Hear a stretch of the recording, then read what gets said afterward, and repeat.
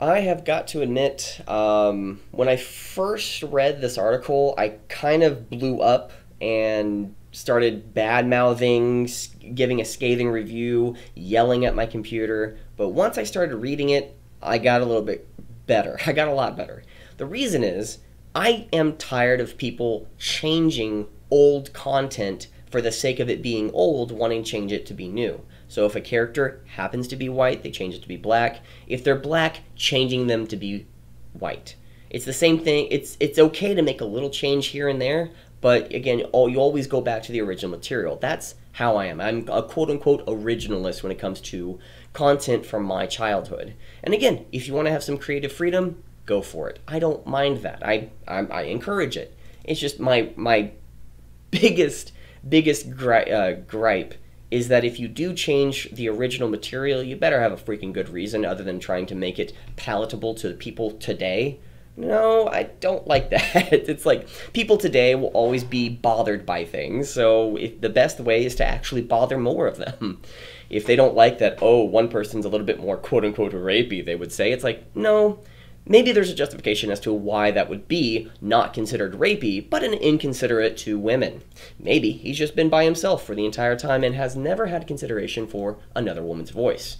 Hey, boom, right there. You've not justified the quote unquote rapey material, which I know I'm probably going to regret saying the word rapey and trying to justify rapey, but it's just if you go to the original material and then change it, modify a little bit, but you don't just modify a character outright. And I first thought from this article, uh, Batwoman, and I apologize if I'm going to butcher your name, Javicia Leslie, cast as the new lead role of the CW superhero series Batwoman. And at first, I thought that they were literally going to make Kate Kane into a black woman. The reason I got up in arms about that is because Kate Kane is related to um, one, she's a white person. It, I don't care if you're either black or white, what the original character is. Lucius Fox is one of my favorite characters in the Bat universe. Because, again, it's like with Alfred. Batman wouldn't be Batman if he didn't have Alfred or Lucius Fox. Now, it's more of Alfred because there was more historical reference, but they made a new character with Lucius Fox. I don't know how recent, but he's a phenomenal person. Specifically in Batman Begins, and they made a few animated uh, shorts, if not a few animated movies, with Lucius Fox. And I, even in the Batman animated series, I think it's a little kooky, I think it's a little childish, but I think they do it wonderfully. And I thought originally J- uh, Javicia Leslie uh, was going to be was going to recast as Kate Kane, but when I started reading the article, God friended me uh, God Friended Me, co star Javicia Leslie, has been cast as the new Batwoman. And that's when I got up in arms and I started recording and I just, I went off. But succeeding Ruby Rose, who exited the role after, se- at, um, after the end of season one, Leslie confirmed to play the new character. Let's back it up a little bit. There.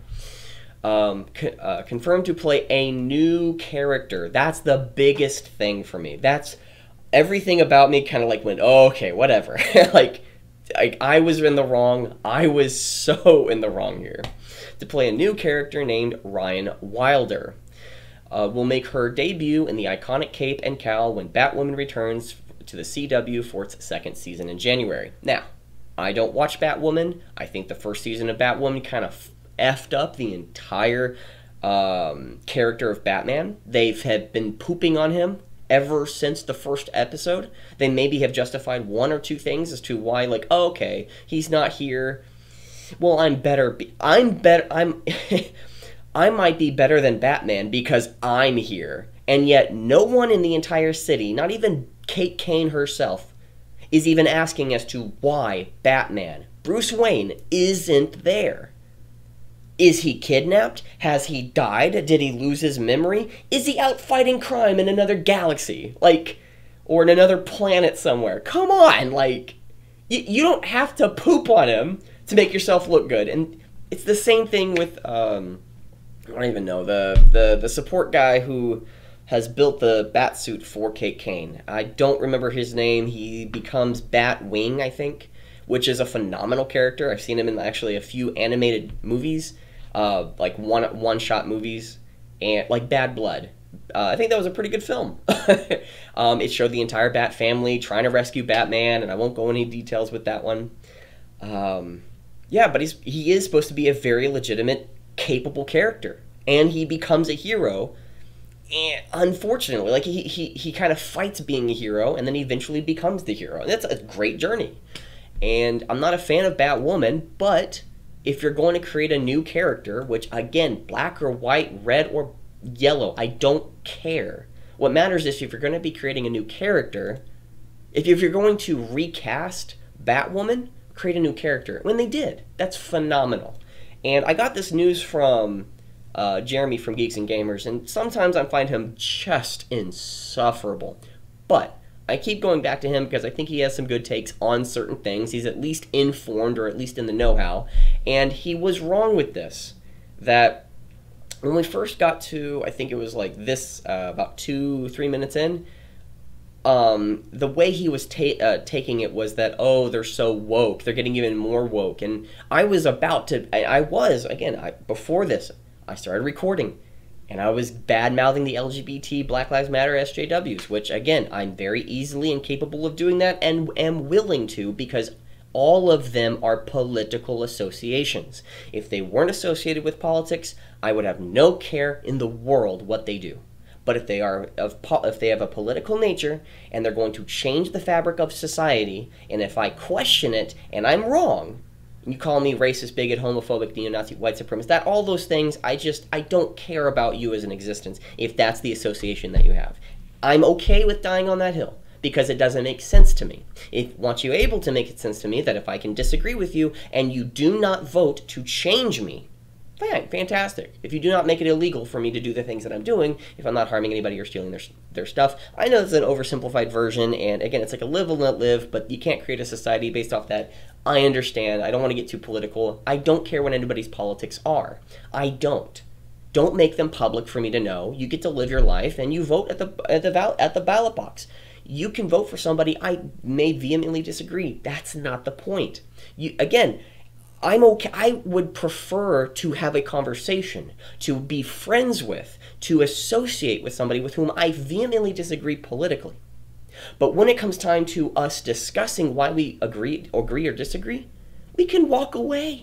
We can, or we have a beer, which I don't drink beer. I'd probably be drinking water because the only thing I drink is either water or bubbly water. That's pretty much it.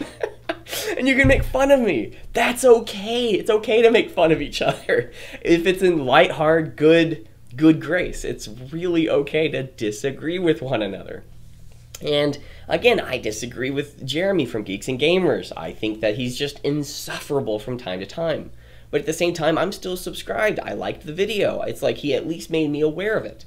I and going back to the original one, let's read it all the way through because creating a new character, even from this, I created a um, a little story. Uh, yeah, like all this. I should probably delete that, but I got really pissed off, and I said like, "Whoa, I was in the wrong. I was absolutely in the wrong." Okay, but one thing that you can do if um, if you want to create a new character, which I think uh, Javis, okay, hopefully I'm pronouncing your name correctly, Javicia Leslie. If you want to create a, if you want to create a powerful black woman, and that's what you want to do, I looked online and I typed in the word scythe, and the reason I typed it with the word P A P S Y T H E, I'll get to it in, in a bit. And I, the only thing that I could find is this one with uh, Pokemon, uh, Scythe. This Pokemon and I, I couldn't find really anything else uh, other than maybe a name, but all in all starting with Scythe. The reason is, um, if you wanted to create a character, here here's what we do. One, we pick um, character, strong black woman because whatever. Um, we're gonna create uh, power uh, weapon,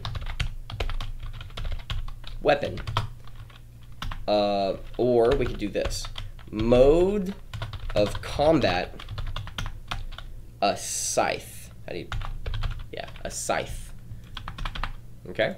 Now, mode of combat, scythe, um, uniqueness, because she's a hero, she doesn't kill scythe is non-lethal. So how about a psychic scythe? What about that? Okay. The reason I, I say that is because if we created a psychic scythe, there's literally no other character named Scythe, psychic scythe, a, um, a psychic woman who wear who wields a scythe, and literally you could have it where um, it's it's kind of like the Green Lantern, but instead of ha- creating physical constructs, you actually create more of a metaphysical where you can feel it, it affects you, but it can go right through you. So when she uses the scythe on you and she slashes your head, it doesn't mean that your, your head's going to get sliced open. It's just that your head is affected like a like an energy surge. And because it's um, and you could even have that like each attack is an energy surge, and maybe her her weakness is anything that actually is mechanical. So anytime that you have or she's fighting a robot, she can't affect it, or unless it's a is it that she's creating a, a, a, physical item or is it that she's creating a psychic item more of a um, um, a, uh, what I'm trying to I'm trying to use the word what is it? Telekinesis? Not telekinesis tel- telekinetic. Telekinetic is the physical form uh, telepathic, where sh- she's creating something telepathic in the other person to think that she has a scythe, or a telekinetic where there's an actual energy structure, and then whatever weakness that she has. And what's her what's her origin? Her origin would be to um, a gem, um, a gem she found. Um, she found as an archaeologist because that's not played out too often. it's so oh, it's so overused. But let's go with that. Uh, we could change this later. But a gem she found as an archaeologist. Um, while holding it, it bursts.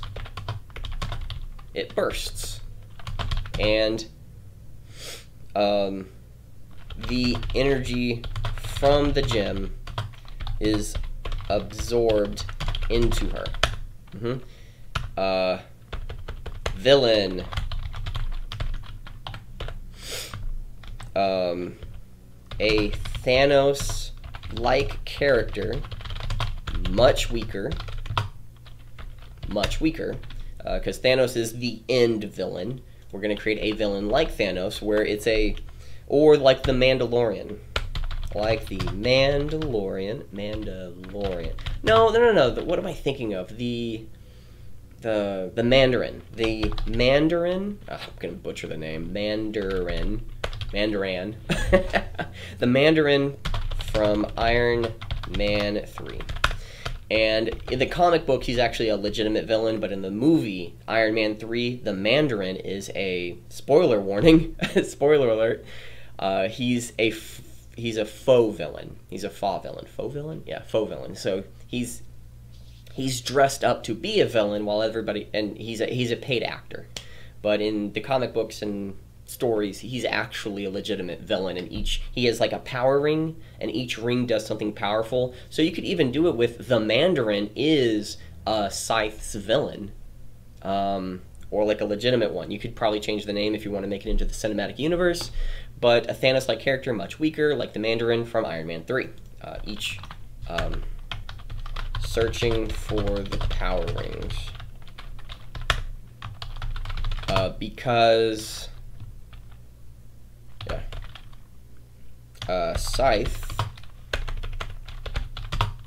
Ha- Scythe has absorbed the ring, uh, the gem's power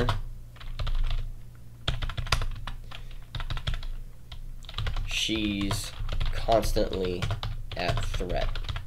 Yeah. And maybe she could like have her abilities and powers be taken away from her, but she still fights. But however that happens because she's just an archaeologist, we could change that whatever profession she was in. She could just be a, regu- a regular civilian, or maybe she was a small child when a gem was thrown upon her. It doesn't even have to be a gem. It's just something like that. And now we've created a legitimately psych mode of combat scythe.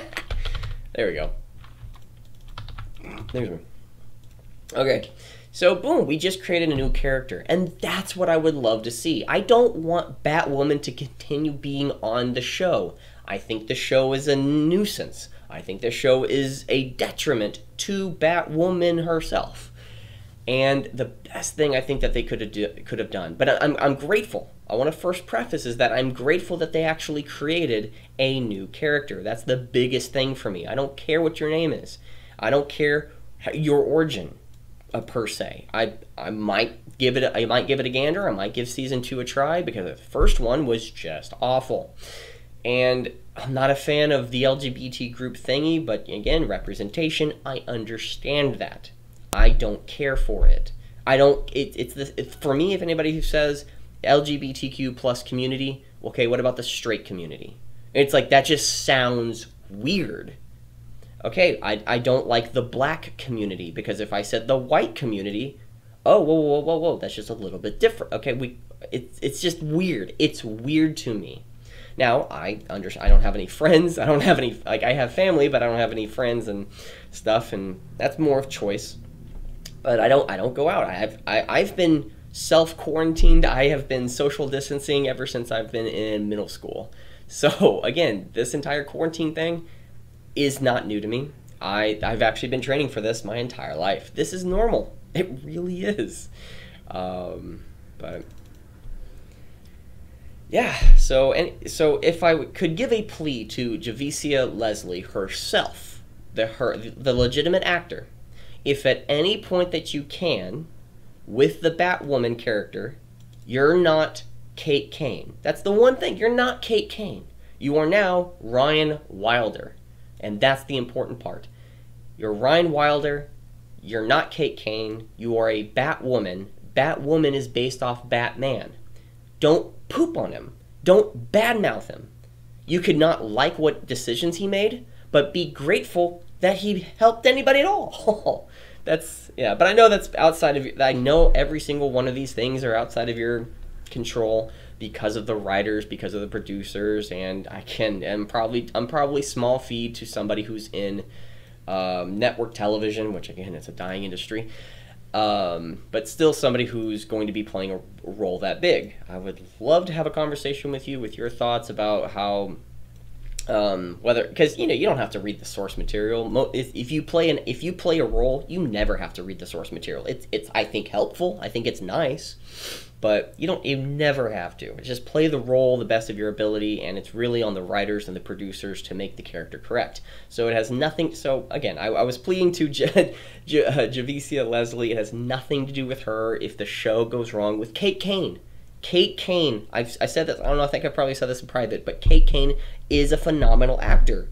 Not in batwoman in John Wick 2, she plays the lieutenant to the main villain. She has no voice acting. She is legitimately a mute. But the thing is, she's literally a mute, not legitimately a mute, a literal mute. And in that, you get to see every single communication that's happening between John Wick and her. It's all in her facial features. It's all in her facial expressions. She's a phenomenal acting actor if she doesn't speak. I can say that it's not sexist because I have the same criticism for uh, the main character for John Wick, what Keanu Reeves. Keanu Reeves sucks at voice acting. He's dedicated at his work, his practice, his profession. He will work hours and hours and hours each and every day for weeks, if not months, for a particular role and job. He will do what he can to make it, but his voice acting in John Wick, that's pretty much the extent of his voice acting. That's the extent of him speaking. Him acting, I think he's pretty good as a very serious role, few lines of dialogue, moving on to the next uh, moving on to the next action sequence. That's where his role is. Rey, um, uh, Daisy from the uh, the Force Awakens and the Disney trilogy. It's unfortunate that Disney did what they did with her character. I would have loved to see more of her first 15 minutes of The Force Awakens. I, she had no speaking roles. She had she had nothing but facial features and um, and physical action and physical movements. That's it. But it told a much grander story because you got to see what was inside of her head from how she saw an older woman doing the exact same activity she was doing and she got to see her future and she wasn't, and she was so disappointed in that. That was amazing acting. I loved that. That was awesome. I'll defend that. I'll die on that hill. I would love to see that. Kate Kane is a great actor. She just sucks as the lead role. Again, she might. Yeah. Yeah. And again, anything that's happening to Kate Kane, I don't wish ill upon her. I just don't think she was a great actor. Keanu Reeves is not a great voice actor. He's a great professional actor. like again, in his small like his niche role, Keanu Reeves dominates, in my opinion, at least. I loved John Wick 2. John Wick 1 was okay, it was acceptable. Um, I was looking forward to a second one. Uh, John Wick 2 was awesome. John Wick 3, I did not like. I, I, I didn't like it at all. I like some of the things that they did. It's kind of like a Deadpool 2. Deadpool 2 did some of the things I liked. Half of it was not. Nope, didn't like it all. Because the first one was awesome. The second one, eh it's like I don't. I'm not looking forward to a third Deadpool. I'm not looking forward to an uh, John Wick four. I'm not. I don't like where it went. Some of the things I liked, but a lot of it I didn't. so, yeah. Um, I'd say the best luck to you, Javicia Leslie. No ill towards you, but I'm gonna blame you for picking up a role. If you start, if you read the, if you read any lines or say anything that's going to poop on Batman or say again if you I'm going to judge you because you are in the limelight. You get all the criticism, but you get all the praise. The producers don't get mo- most of them. The, the the cast and crew of any series seldom gets the praise, seldom gets the criticism. It's usually those who are in the limelight, and Javicia Leslie, you are stepping in that role. I love Batman. Batman is who I grew up with. Superman, Batman, and Iron Man and Captain America. Those are the characters that I grew up with. So again, you don't have. I think in again, this might be my last thing. In Endgame, spoiler alert. Any um, I don't like the fact that they actually killed off Iron Man, Tony Stark, and technically killed off um, or retired um, Steve Rogers Captain America. But I think Captain America having ha- having retired him the way that they retired him, I would have not asked for anything better. I don't like that they did that, but if you do it, they did it nicely. Iron Man, Tony Stark, he's been the leader for 13, 21, uh, 21 movies. He's been one of the main characters, regardless of him being a um, a, uh, a cameo they ended him off nicely, wonderfully. And it all goes back for him to being in, inside that cave in Iron Man 1. Yinsen saying to him, Don't waste your life. Well, guess what? He saved the universe. I'd say twice, but he saved the universe. He saved the universe. The universe. He redid. He he couldn't. He couldn't. He failed, but in the end, he won. He made it. He redeemed himself. That's awesome. Like if you kill off a character, do it nice, do it right. But again, Batwoman, the series, has been pooping on Batman, has been just demolishing characters that I liked. It's I don't like the series. I don't wish any ill upon you, Javicia Leslie, but I think you're gonna fuck it up, and I'm because of the role you're stepping into, not of who you are because I think Batwoman, the producers, the writers, they're the ones that are actually at fault. But you're in the limelight saying the words. I get to criticize you because you've accepted the role. Okay, that's my bit. Hope you enjoyed it. Hope that made sense. Um, again, sorry me, sorry, sorry, Jeremy from Geeks and Gamers, but you're wrong. It's not woke. That's not the issue. I think you're focusing on the wrong content. I think the main thing is that it's just the Batwoman series and creating a new character, go for it. Have at it. Being LGBT plus whatever community, whatever. I go for it. I don't care. If you mess up the role, which I think you're going to because of the writers and producers, you're stepping into the role, you're stepping in the limelight, and you're going to say those words that are going to butcher and dem- uh, demean other just woke crap. That's what I'm going to be criticizing. Well, actually, if I say I might be wrong, Jeremy, you might be correct. I guess I do have an issue with Javicia Leslie stepping in the limelight with Bat uh, Batwoman being a very woke, crappy show, and they're going to just continue on with that LGBT uh, with that woke nonsense. Okay, Jeremy, you've convinced me. You are correct. I I say that begrudgingly, but you are correct. okay, so everyone out there, please go make your own decisions. Please watch those episodes in, of Batwoman I may personally not like them. You may personally like them. If you like them, roll with it. There's shows that I like that other people don't like. I love the prequels. Um, I don't watch them, but I hold them fondly in my memory. so especially um, like I've seen the uh, the show Leverage twenty times, well five five six times, but I love that show. I'll probably continue watching the original uh, five se- season series. I'll probably go with Burn Notice or something. I love those shows. Some people don't like them. I love them. So again, find a show that you like and go out there and create stuff. Create stuff that you enjoy. Create stuff that you you like. And more importantly, that brings a smile on another person's face. Please hit that like button, smash that like button, uh, smash that subscribe button because that would greatly help this channel out. And most importantly, go out and create. I've said I said that already, but I don't. I, I want to emphasize it a little bit more. Go out and create. Make things that make other people happy, make other people smile. Because that's that's worth living for. See you next time.